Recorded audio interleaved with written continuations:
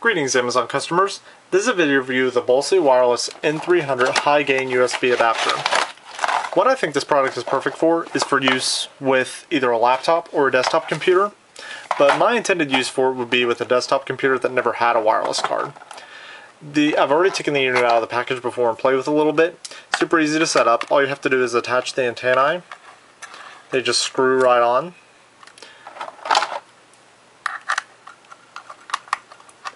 And what is really cool about having the antenna is that you can direct the signal acquisition wherever you need it. So you can push them to the right, push them back, separate. Really, really cool. The product includes the USB cable. So this cable does two things. It transfers the data to your computer and it also powers the unit. Just plug that into the USB port. The unit does feature a WPS button. So if you have WPS enabled on your router, really, really easy setup. The user's guide, pretty straightforward on how to use the unit, and you do have your driver CD. One cool thing the user's guide mentions is that if you're using Windows 8, it is driverless setup. I did use this on my Windows 8 laptop, really easy, no problems. If you do have a computer without a CD drive, you can go to their website and download them, really straightforward.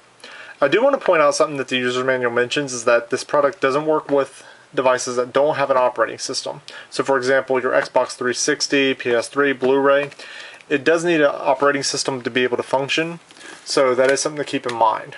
Overall, the product works as expected, um, connected to a USB 2.0 port. The device is a USB 2.0 adapter, works and functions as expected. I hope you enjoyed this video review. Thank you for watching.